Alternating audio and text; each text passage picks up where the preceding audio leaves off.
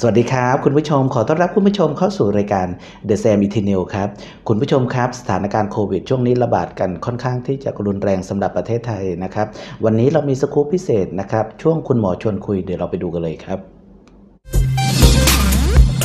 ถ้าในสองอาทิตย์ข้างหน้าถ้าเรากักตัวหรือเราอยู่บ้านได้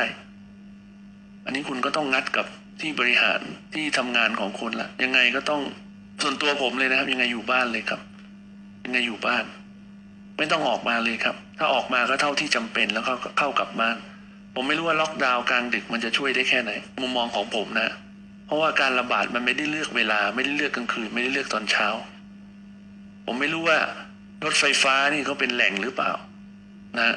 รถเมล์รถป๊อกแป๊กเรือ ถ้าคนยังสัญจรกันเป็นหมู่อยู่ ยังไงเราก็เบรกไซเคิลไม่ได้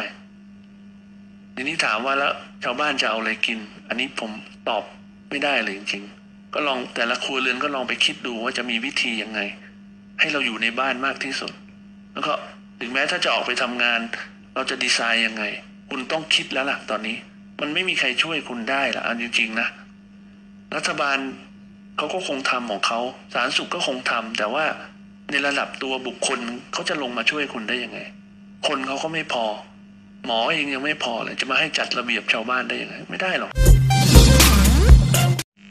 ตอนนี้เราไม่ใช่ดีลกับโรคอย่างเดียวละเรากำลังดีลกับภาวะแทรกซ้อนของโรคที่มันใช้แรงใช้ทรัพยากรและใช้เวลาค่อนข้างมาก ปัจจุบันยาบางตัวเริ่มหมดแล้วนะครับ